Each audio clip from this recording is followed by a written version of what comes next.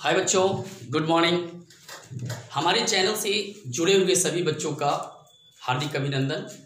मैं बच्चों, आप लोगों को आज जो मैं वीडियो दे रहा हूँ लाइव क्लास क्लास थोड़ा सा गंदा था, मैं आया, साफ़ करवाया, इसलिए लेट हो गया था। आज तो क्लास नहीं दे रहा हूँ, कल से क्लास चलेगी। लाइव क्लास भी चलेगी बच्चों।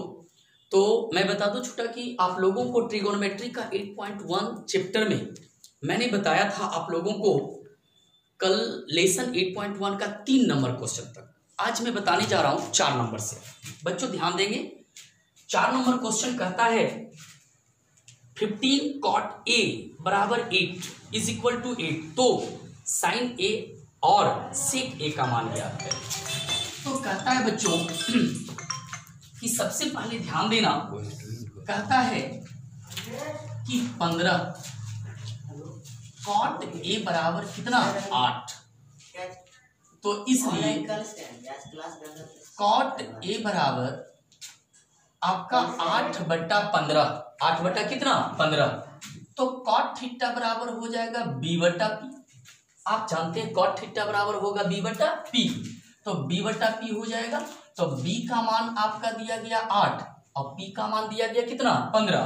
तो घट रहा है क्या? एच तो एच का मान निकाल लेंगे। एच का सूत्र मैंने बताया था आप लोगों को। तो एच बराबर होता है आपका कि पी का स्क्वायर प्लस क्या? बी का स्क्वायर तो एच का एच बराबर निकाल लोगे पी का स्क्वायर तो पंद्रह का आपका स्क्वायर हो जाएगा। प्लस बी का स्क्वायर तो आठ का स्क्वायर हो जाएगा। तो पंद्रह पंद्रह, दो सौ कितना? पच्चीस। और अठी अठी कितना? चौसठ। तो हो जाएगा पाँच, चार कितना? नौ। छो दो कितना? आठ। और ये आपका दो। तो सत्रह आ गया निकल के छुटा तो ये आपका निकल कर सत्रह आ गया। अब जानिए छुटा कि आपको कहता है निकालने के लिए क्या? तो निकालने के लिए कहता है साइन ए और सिक ए का मान। तो इसलिए निकल जाएगा साइन ए बराबर पी बट्टा क्या? एच साइन थीटा बराबर पी बट्टा एच तो थीटा की जगह पर ए है तो पी बट्टा एच तो पी का मान कितना है? पंद्रह है। और एच का मान कितना है? तो आपका निकल के आ गया सत्रह है। फिर आपको कहता है, क्या निकालने के लिए कहता है? सेक ए कौन ए सेक ए तो आपका निकल गया सेक ए तो होता है एच बट्टा क्या? बी है ना? कॉस का उल्टा हो जाएगा। तो एच का मान कितना है? सत्रह है। और बी बी का मान कितना है बच्चों? तो बी का मान आपका आठ दिया गया। आंसर आ गया। कोई दिक्कत बच्चों? तो यही कहता है आपका चार नंबर। क्वेश्चन नंबर पाँच कहता है बच्चों। यहीं पर मैं दे देता हूँ। क्वेश्चन नंबर पाँच। कहता है बच्चों कि सीट ठिट्टा बराबर तेरह बट्टा बारह तो अन्य त्रिकोणमितीय अनुपात परिकृत कीजिए। बच्चों, कहता है कि सेक ठिट्टा बराबर, कौन ठिट्टा बराबर? सेक ठिट्टा बराबर। तो ध्यान देना, मैं क्वेश्चन देख रहा था बच्चों। कहता है कि सेक ठिट्टा बराबर, आपका कहता है कि तेरह बट्टा बारह। क्वेश्चन फिर से देख लिया जाए। कहता है, छुटा कि सेक ठिट्टा बराबर कह रहा है आपका तेरह बट्टा बारह। तेरह बट्टा बारह। तो अन्य त्रिकोणमितीय अनुपात। तो आप जानते हैं बच्चों कि त्रिकोणमिति में छह निष्पत्ति होता है। तो अन्य त्रिकोणमितीय अनुपात। एक तो दिया हुआ है सेक थीटा तो अन्य पाँच और निकालेंगे। लेकिन हम जानते हैं कि सेक थीटा बराबर होता है एच बटा बी सेक थीटा बराबर सूत्र होता है एच बट्टा क्या? बी तो आप जानते हैं एच का मान दिया गया तेरह और बी का मान दिया गया कितना? बी बारह। आपका बारह दे दिया गया तो एच मालूम है बी मालूम है। घट रहा है क्या? पी क्या घट रहा है? पी तो जब पी घट रहा है बच्चों तो सबसे पहले ध्यान देना कि पी बराबर निकालेंगे एच का स्क्वायर और माइनस बी का स्क्वायर सूत्र होता। तो एच का स्क्वायर बोले तो तेरह का स्क्वायर और बी का स्क्वायर बोले तो बारह का स्क्वायर तो तेरह तेरहिया एक सौ उनहत्तर और बर बरहिए कितना? चौवालीस। अब एक सौ उनहत्तर में से एक सौ चौवालीस जाएगा तो बच्चों बचेगा कितना? पच्चीस। और पच्चीस का वर्गमूल कितना? पाँच। अब इतना निकल गया तो अन्य त्रिकोणमितीय अनुपात कहता है कि साइन थीटा तो पी बट्टा एच तो P का मान कितना है? पाँच। H का मान कितना है? तेरह। अब इसी का उल्टा कौशिक होता है तो कौशिक थीटा कौशिक थीटा बराबर हो जाएगा तेरह बट्टा कितना? पाँच हो जाएगा। अब कहता है कॉस थीटा तो कॉस थीटा सेक का उल्टा हो जाएगा तो बारह बट्टा कितना हो जाएगा? तेरह। अब कहता है आपको छोटा टेन थीटा तो टेन थीटा पी बट्टा बी होगा तो पी का मान कितना निकला? पाँच। और बी का मान कितना होगा? तो बारह। अब टेन का उल्टा कॉट होगा। तो कॉट थीटा टेन का उल्टा कॉट है? तो कॉट थीटा आपका बारह बट्टा कितना? पाँच। यही आंसर आ गया। बच्चों तो ये आपका दिया हुआ था। बच्चों, सबसे पहले ध्यान देना कि ये आपका दिया हुआ। बच्चों क्वेश्चन नंबर अब चलते हैं हम लोग सिक्स में। क्वेश्चन नंबर हम लोग चलते हैं किसमें? सिक्स में। सिक्स का अच्छा हिसाब है बच्चों, जरा सा ध्यान देंगे। सिक्स नंबर क्वेश्चन में। देखिए बच्चों सिक्स में कहता है कि यदि कोण ए और कोण बी, न्यून कोण है। न्यून कोण मतलब जो कि 90 डिग्री से कम है। न्यून कोण हो। जहाँ कॉस ए बराबर कॉस बी कॉस ए बराबर कॉस बी तो दिखाएँ कि, दिखाएँ मतलब सिद्ध करें, साबित करें कि कोण ए बराबर कोण बी तो ध्यान देना मेरे बच्चों, किसी समकोण त्रिभुज में, कहता है कि किसी समकोण त्रिभुज में, मान लेते हैं ये कोई समकोण त्रिभुज ये आपका कैसा त्रिभुज है? समकोण त्रिभुज बच्चों, मान लेते हैं ये आपका कैसा त्रिभुज है? समकोण त्रिभुज। तो कहता है ए, बी, सी। वो एक कोण बी न्यून कोण है। जैसे कोण सी को हम 90 डिग्री दे दिए तो 90 डिग्री दिए तो ए दोनों कोण न्यून कोण हो जाएगा? ये दोनों कोण कौन कौन न्यून कोण। अब चलते हैं बच्चों कि निकाल लेते हैं समकोण त्रिभुज। समकोण त्रिभुज एबीसी में। कहता है मेरे भाई कि कॉस ए निकाल लीजिए।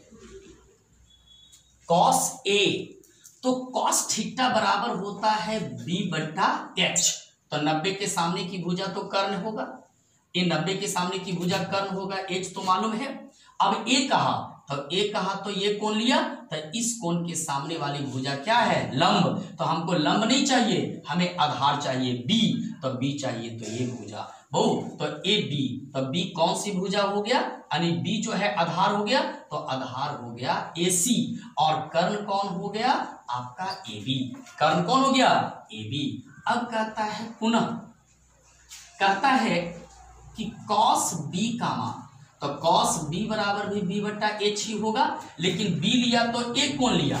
आप जानते हैं, कोण बदलने पर लंब और आधार बदलता है। तो अभी एक कोण लिया ए तो ए सी बटा ए बी अगर कोण ले लिया कौन?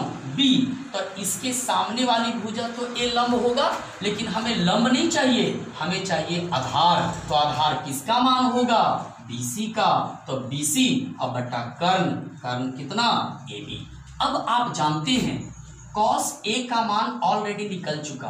कॉस बी का भी मान ऑलरेडी क्या हुआ? निकल चुका। जब कॉस ए और कॉस बी का मान निकल गया, मेरे भाई कॉस ए और कॉस बी का जब मान निकल गया तो अब प्रश्न से कहता है। कहता है, प्रश्न से। क्या कहता है प्रश्न से? प्रश्न से कहता है कि कॉस ए बराबर कॉस बी कॉस ए बराबर कॉस बी प्रश्न से कहता है कॉस ए बराबर कॉस क्या? बी तो कॉस ए का मान कितना आ गया? ए सी और बट्टा ए बी और कॉस बी का मान बी सी और बट्टा A B A A B इधर भाग में, इधर आएगा तो गुना में. तो मैं इसको डायरेक्ट भी काटना चाहता हूँ। डायरेक्ट भी कर सकता है, अरे तो इधर भाग में उधर जाएगा गुना में, चाहे इधर भाग में इधर आएगा तो गुना में कट ही जाएगा। तो यहाँ पर बच गया ए सी बराबर बी सी और हम लोग जानते हैं कि अगर कोई समद्विबाहु त्रिभुज है तो समद्विबाहु त्रिभुज के दोनों भुजा और दोनों कोण बराबर है। समद्विबाहु त्रिभुज का दोनों कोण और दोनों भुजा आपस में क्या होता? बराबर। तो जैसे अगर मान लिया जाए कि एक त्रिभुज समद्विबाहु त्रिभुज। है ये त्रिभुज क्या है? समद्विबाहु तो ये दोनों भुजा बराबर है तो इसके सामने का कोण ए और इसके सामने का कोण ए इसके सामने का कोण ए और इसके सामने का कोण ए भी बराबर होगा। चाहे ये दोनों कोण बराबर है तो इसके सामने की भुजा क्या होगा? बराबर। क्योंकि समद्विबाहु का परिभाषा होता कि जिस त्रिभुज की कोई दो भुजा आपस में बराबर हो, उसे समद्विबाहु त्रिभुज कहते हैं। तो AC बराबर BC हुआ। तो जब AC और बराबर कौन हुआ? BC AC बराबर कौन हुआ? BC तो AC के सामने का कोण कौन? ए बी और आपका BC के सामने का कोण कौन? A तो यहाँ पर देखिए, इस त्रिभुज में, जब समकोण बनाया तो समकोण में चलेंगे। अब हमको समद्विबाहु से कोई मतलब नहीं। अब AC बराबर BC हो गया। माने AC बराबर कौन हो गया? BC तो AC के सामने का कोण कौन है? कोण B? AC के सामने का कोण कौन है? कोण B? तो इसलिए कोण बी और BC के सामने का कोण कौन है? ए आपका ए तो ए आपका हो जाएगा कौन छुटा? कोण ए तो कोण बी बराबर तो कोण ए हो गया? AC के सामने का कोण बी और BC के सामने का कोण ए तो दोनों तो इक्वल हो गया। दोनों क्या हो गया? बराबर इक्वल जब दोनों बराबर हो गया तो अब इसको सजा के भी लिख सकते हैं कि कोण ए और बराबर कोण बी यही आपका प्रूव्ड हो गया। यही आपका प्रूव हो गया, कौन ए बराबर कौन बी? बच्चों तो आज इस वीडियो को आपने देखा। बच्चों, इसमें ज़्यादा आपका एम खाएगा, इसलिए हर वीडियो में मैं मैं चार वीडियो रोज दूँगा छोटा। दो सुबह दूँगा और दो शाम दूँगा। तो चार वीडियो दूँगा तो चार वीडियो को आप देख लेंगे। और लाइव क्लास जो आपका है, वो लाइव क्लास आपका कल से मतलब मंगलवार से मंगलवार से कंटिन्यू चलेगा मेरे बच्चों। धन्यवाद बच्चों, धन्यवाद। यही आपका कहता है क्वेश्चन नंबर छः मैं अब अगला वीडियो में सात नंबर से बताऊँगा और चैप्टर खत्म करूँगा। धन्यवाद बच्चों।